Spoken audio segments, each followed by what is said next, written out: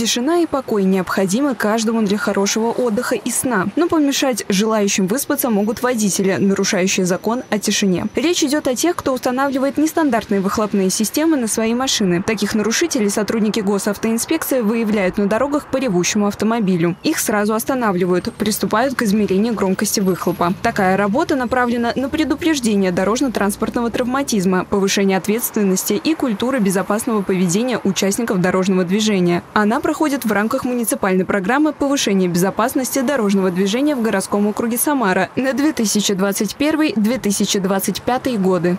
Поступает очень большое количество жалоб от э, жителей города. Э, как правило, в ночное время э, мешают отдыхать гражданам.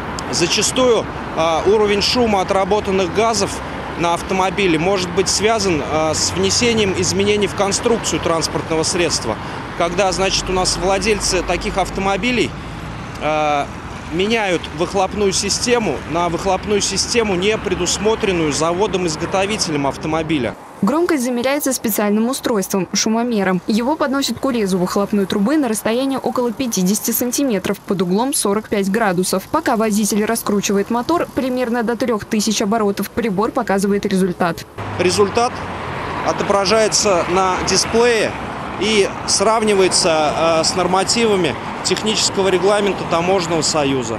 В случае, если результат измерения превышает э, допустимые нормы более чем на 5 дБ, то в отношении водителей принимаются соответствующие административные меры. Предельный уровень шума для легковых автомобилей составляет около 94 дБ, а для грузовиков больше 5 тонн, не выше 100. К подобным проверкам водители относятся с пониманием. Они, их знакомые и близкие тоже испытывают дискомфорт от громкой езды. В том числе такие проблемы есть и на улице Солнечной. У меня просто там товарищ жил, он рассказывал, что там постоянно гоняют на мотоциклах и на спортивных машинах. И он даже живет там на десятом этаже, он постоянно мучился. Летом жарко, когда он открывает окно, он не может уснуть, потому что ночью гоняют.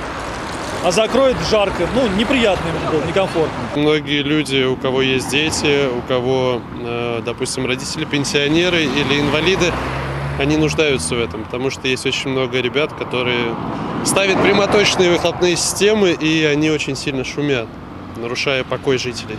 С начала этого года на территории Самары сотрудники госавтоинспекции зафиксировали более 20 таких административных правонарушений. Водителям напоминают, что за громкую езду полагается штраф в размере 500 рублей.